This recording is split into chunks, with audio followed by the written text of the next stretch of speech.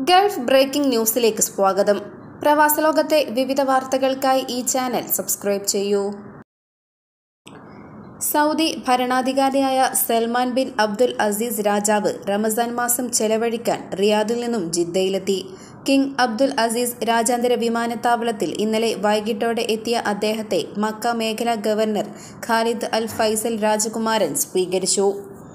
Khalid bin Fahad bin Khalid Mansour bin Saud bin Abdul Aziz രാജകുമാരൻ Khalid bin Saud bin Fahad രാജകുമാരൻ Sattam bin Saud bin Abdul Aziz രാജകുമാരൻ എന്നിവർ അദ്ദേഹത്തെ അനുഗമിച്ചു. ഇനിയുള്ള ഒരു മാസക്കാലം രാജാവ് ജിദ്ദയിലും മക്കയിലും മദീനയിലുമായിരിക്കും ചെലവഴിക്കുന്നത്. യമനിലെ ഹൂതി വിമതർക്ക് സാമ്പത്തിക സഹായം നൽകുന്നതിൽ ഇന്ത്യക്കാരും സൗദി അറേബ്യ കരിപട്ടികയിൽ ഉൾപ്പെടുത്തിയ ഇരുപത്തഞ്ച് വ്യക്തികളുടെയും സ്ഥാപനങ്ങളുടെയും കൂട്ടത്തിലാണ് ഇന്ത്യക്കാരുള്ളത്. ഇവരുടെ പേരുകളും സൗദി പുറത്തുവിട്ടു. ചിരഞ്ജീവ് കുമാർ സിംഗ് മനോജ് സബർബാൾ എന്നീ രണ്ട് ഇന്ത്യക്കാരാണ് ഹൂതി വിമതർക്ക് സാമ്പത്തിക സഹായം നൽകിയവരുടെ പട്ടികയിൽ ഉൾപ്പെട്ടിട്ടുള്ളത്. ഹൂതികൾക്ക് സഹായം എത്തിക്കുന്ന പത്ത് വ്യക്തികളുടെയും പതിനഞ്ച് കമ്പനികളുടെയും വിവരങ്ങളാണ് സൗദി പുറത്തുവിട്ടത്. ഇന്ത്യക്കാർക്ക് പുറമെ യമൻ ബ്രിട്ടൻ സിറിയ എന്നീ രാജ്യങ്ങളിൽ നിന്നടക്കമുള്ള എട്ടോളം പേരും പട്ടികയിൽ ഉൾപ്പെട്ടിട്ടുണ്ട്. ഇവരുടെ സ്വത്തുകൾ മരവിപ്പിക്കാനുള്ള തയ്യാറെടുപ്പിലാണ് അധികൃതർ. രാജ്യത്ത് റമസാൻ വ്രതാരംഭം ഞായറാഴ്ചയായിരിക്കും. ഔക്കഫ് മതകാര്യ മന്ത്രാലയമാണ് ഇക്കാര്യം അറിയിച്ചത്. ഇന്നലെ ഷഅബാൻ ഇരുപത്തൊമ്പതിന് മാസപ്പിറവി കാണാത്തതിനാൽ ഇന്ന് ഷഅബാൻ മുപ്പത് പൂർത്തിയാക്കി നാളെ റമസാൻ മാസം ആരംഭിക്കുമെന്നും മന്ത്രാലയം കൂട്ടിച്ചേർത്തു. മതകാര്യ മന്ത്രാലയത്തിന് കീഴിൽ മാസപ്പിറവി നിരീക്ഷിക്കുന്നതിന് എല്ലാവിധ സംവിധാനങ്ങളും ഒരുക്കിയിരുന്നു. എന്നാൽ ചന്ദ്രപ്പിറവി ദൃശ്യമാകാത്തതിനാൽ മതകാര്യ മന്ത്രാലയത്തിന്റെ നേതൃത്വത്തിൽ നടന്ന യോഗത്തിൽ റമസാൻ ഒന്ന് ഞായറാഴ്ച ആയിരിക്കുമെന്ന് പ്രഖ്യാപിക്കുകയായിരുന്നു. ഭരണാധികാരിക്കും രാജ്യത്തെ ജനങ്ങൾക്കും മന്ത്രാലയം റമസാൻ ആശംസകളും നേർന്നു. പകർച്ചവ്യാധി രോഗം കുറഞ്ഞതോടെ ഏറെ ഇളവുകൾ ലഭിച്ച സാഹചര്യത്തിലാണ് ഇത്തവണ രാജ്യം റമസാനിലേക്ക് കടക്കുന്നത്. പള്ളികളിൽ തറാവിയ കൂട്ട നമസ്കാരത്തിന് അനുമതിയുണ്ട്. എന്നാൽ പള്ളികളിലും ടെന്റുകളിലും സമൂഹ ഇഫ്താറിന് വിലക്കുണ്ട്. അതേസമയം യു എയിലും സൗദി അറേബ്യയിലും ഉൾപ്പെടെ ഇതര ഗൾഫ് രാഷ്ട്രങ്ങളിൽ ഇന്ന് റമസാൻ ഒന്നാണ്. കേരളത്തിൽ ഷാബാൻ ഇരുപത്തൊമ്പതാണിന്ന്. സ്വകാര്യ കമ്പനികൾക്ക് ആശ്വാസമായി വിദേശികളുടെ തൊഴിൽ പെർമിറ്റിന്റെ കാലാവധി മന്ത്രാലയം നീട്ടി നൽകി. ഈ വർഷം മാർച്ച് മുപ്പതിന് കാലാവധി അവസാനിച്ചവ ജൂൺ മുപ്പത് വരെയാണ് നീട്ടി നൽകിയിരിക്കുന്നത്. പകർച്ചവ്യാധി രോഗത്തിന്റെ സാഹചര്യത്തിൽ സ്വകാര്യ മേഖലയിലുണ്ടായ കമ്പനികളുടെ ആഘാതം കുറയ്ക്കുന്നതിനാണ് ഇത്തരം സൗകര്യങ്ങൾ ഏർപ്പെടുത്തിയതെന്ന് മന്ത്രാലയം പ്രസ്താവനയിലൂടെ കൂട്ടിച്ചേർത്തു. യു കെ വിദേശകാര്യ കോമൺവെൽത്ത് വികസനകാര്യ സെക്രട്ടറി എലിസബത്ത് ട്രസയും ഒമാൻ റോയൽ ഓഫീസ് മന്ത്രി ജനറൽ സുൽത്താൻ മുഹമ്മദ് അൽ നുമാനിയും കൂടിക്കാഴ്ച നടത്തി. സുൽത്താനേറ്റിനെയും യു കെയും ബന്ധിപ്പിക്കുന്ന ചരിത്രപരമായ കാര്യങ്ങളും സഹകരണങ്ങളും ഇരുവരും ചർച്ച ചെയ്തു. ഇരു രാഷ്ട്രങ്ങളുടെയും പൊതു താൽപ്പര്യമുള്ള കാര്യങ്ങളിലുള്ള കാഴ്ചപ്പാടുകൾ കൈമാറുകയും ചെയ്തു. ദാഹിറ ഗവർണറേറ്റിലെ ഇബ്രയിൽ സ്വകാര്യ മാർബിൾ ഫാക്ടറിയിലുണ്ടായ അപകടത്തിൽ കാണാതായ ആളുകൾക്ക് വേണ്ടിയുള്ള തിരച്ചിൽ പുരോഗമിക്കുന്നു. മൂന്ന് പേരെ ഇനിയും കണ്ടെത്താനുണ്ടെന്ന് സിവിൽ ഡിഫൻസ് ആൻഡ് ആംബുലൻസ് വിഭാഗം അറിയിച്ചു. അത്യാധുനിക യന്ത്ര സംവിധാനങ്ങളുടെ സഹായത്താലാണ് തിരച്ചിൽ നടക്കുന്നത്. പാറ ഇടിഞ്ഞു വീഴുന്നതാണ് തിരച്ചിലിന് തടസ്സമാകുന്നത്. കഴിഞ്ഞ ശനിയാഴ്ച അർദ്ധരാത്രി പന്ത്രണ്ട് മണിയോടെയാണ് ഇബ്രിയിലെ അൽ അരീദ് പ്രദേശത്ത് അപകടം നടന്നത്. ആറുപേർ സംഭവ ദിവസം മരണപ്പെട്ടിരുന്നു. കഴിഞ്ഞ ദിവസങ്ങളിലായി നടന്ന രക്ഷാപ്രവർത്തനങ്ങളിൽ അഞ്ചു പേരുടെ മൃതദേഹങ്ങൾ കൂടി കണ്ടെത്തി. ചൊവ്വ ബുധൻ ദിവസങ്ങളിൽ രണ്ട് വീതവും വ്യാഴാഴ്ച ഒരാളുടെ മൃതദേഹവുമാണ് കണ്ടെത്തിയത്. രാജ്യത്ത് ഡെങ്കിപ്പനി ഉയരുന്ന സാഹചര്യത്തിൽ പ്രതിരോധം ശക്തിപ്പെടുത്തി ഒമാൻ ആരോഗ്യ മന്ത്രാലയം. മൂന്ന് വിലായത്തുകളിലായി ഇരുപത്തി പേർക്കാണ് ഇതുവരെ ഡെങ്കിപ്പനി റിപ്പോർട്ട് ചെയ്തത്. മസ്കർ നഗരസഭയുടെ നേതൃത്വത്തിൽ വിദഗ്ധരടങ്ങിയ രണ്ട് പ്രത്യേക സംഘങ്ങൾ രൂപീകരിച്ചും ഡെങ്കിപ്പനിയെ തുരത്തുന്ന നടപടികൾ സ്വീകരിച്ചു വരികയാണ്.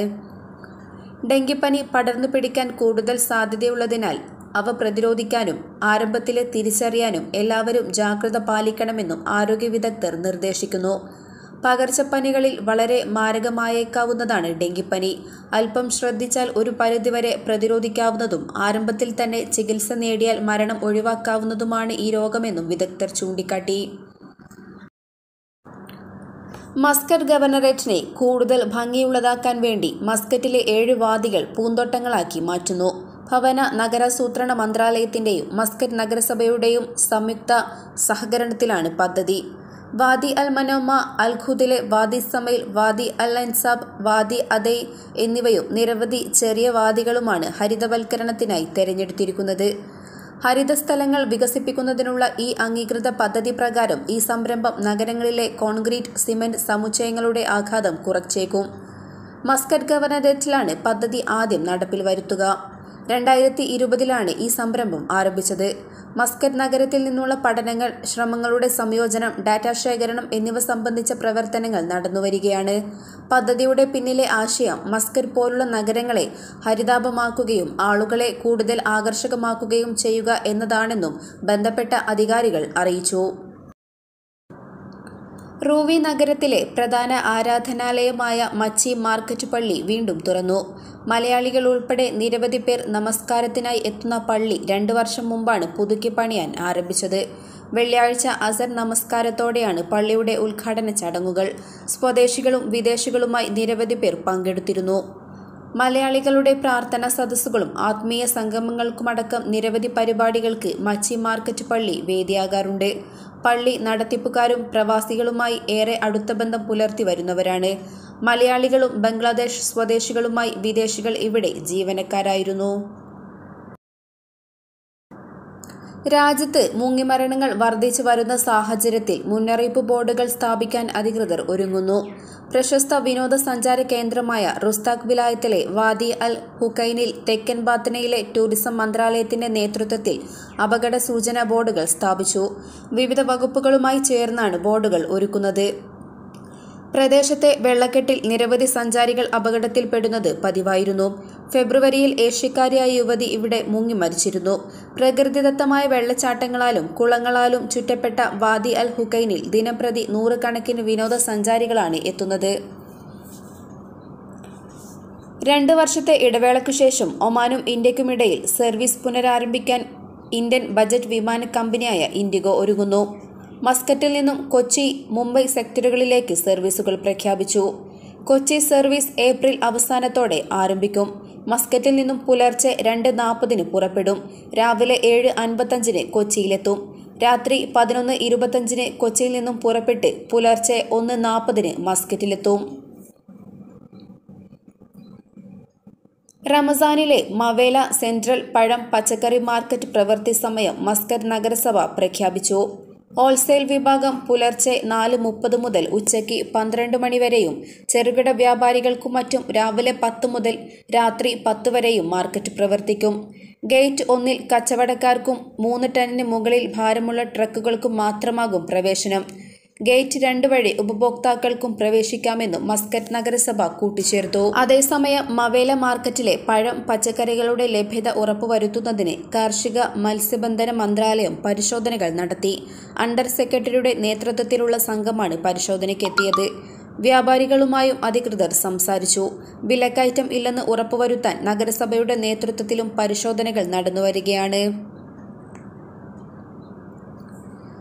ഇതോടെ ഇന്നത്തെ വാർത്തകൾ അവസാനിക്കുന്നു. പുതിയ വാർത്തകളുമായി വീണ്ടും കാണുന്നതുവരെ നന്ദി നമസ്കാരം.